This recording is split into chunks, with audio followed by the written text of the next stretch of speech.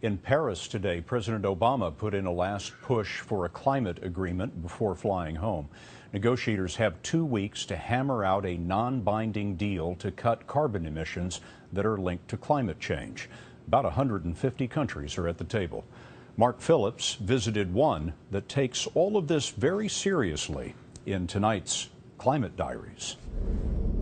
A great national and expensive experiment is underway in Norway, where a quarter of all new cars sold have E plates for electric. Leif Halverden admits he's one of the lab rats. This is the little baby you're considering buying, then? Is it? Yes. Leif has uh, done the math. With all the government incentives to go electric, he says he'd be crazy not to. This car will be for free. For free? Yeah, It's hard to get a better deal than free. yeah, that, that's true. By free, Leif means he can basically drive for nothing. By the time the governments waive the whopping 25% sales tax and the road registration fee, the sticker price for electric cars can actually be less than their gas or diesel equivalents. And once on the road, other benefits kick in. No highway tolls, free ferry rides, and free charge ups at the government subsidized plug in points, where the power comes from clean hydro sources.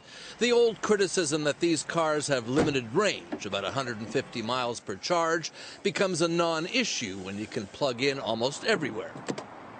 And for commuter Anita Viborg, there's another e car incentive access to bus and taxi lanes.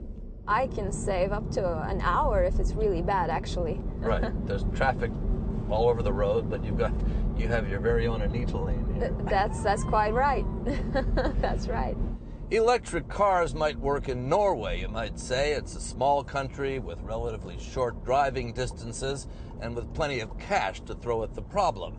But what about bigger places with less cash to throw around? Well, the Norwegians say they have learned one thing here build them, and they will come.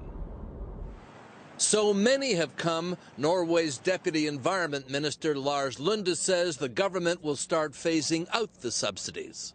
45, 50, 60 percent when you get a real big market share. Of course, the benefits has to be phased out. But but we are not. Is there. that what you're anticipating? 45, 50, 60% electric? I mean, we have to go to 100 percent uh, in, in some some years. I mean, our target is actually that What the Norwegians have done is change the image of electric cars. They've made them, well, listen to car shopper Leif's daughter. Smaller space. What do you think of this car?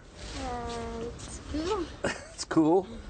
Deal closed. Yeah. That's it. Sold. Sold like the country seems to be. Mark Phillips, CBS News, Oslo.